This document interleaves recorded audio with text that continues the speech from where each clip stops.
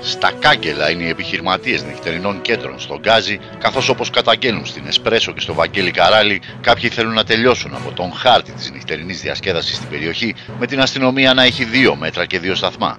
Χαρακτηριστικό είναι το προ λίγων ημερών περιστατικό όταν αστυνομικοί και άνδρες της ΟΠΚΕ έκλεισαν δύο μαγαζιά που λειτουργούσαν μέσα στο επιτρεπόμενο ωράριο, αναγκάζοντας τους επιχειρηματίες να κλείσουν τη μουσική και να διώξουν τους πελάτες με το αιτιολογικό της διατάραξης κοινής ησυχίας και ότι τα μαγαζιά είχαν υπερβεί το επιτρεπόμενο όριο πελατών.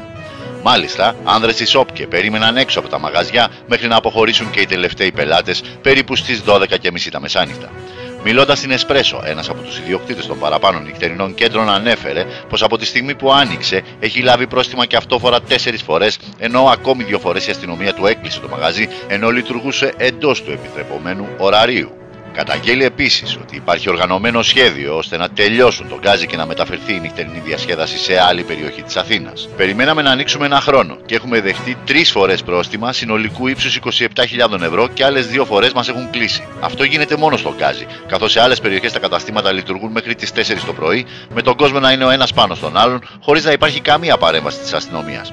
Όλοι οι επιχειρηματίες στον Γκάζι καταγγέλουμε ότι υπάρχει οργανωμένο σχέδιο ώστε να μας τελειώσουν. Προφανώς θέλουν να μεταφέρουν σε νέα περιοχή τη νυχτερινή διασκέδαση της Αθήνας, τελειώνοντας εμάς. Έχω 40 άτομα προσωπικό, πληρώνω σε όλους τα μεροκάματά τους, τη στιγμή που σχεδόν κάθε εβδομάδα πληρώνω χιλιάδες ευρώ σε πρόστιμα. Α μας αφήσουν επιτέλους να δουλέψουμε και τα νέα παιδιά να εργαστούν.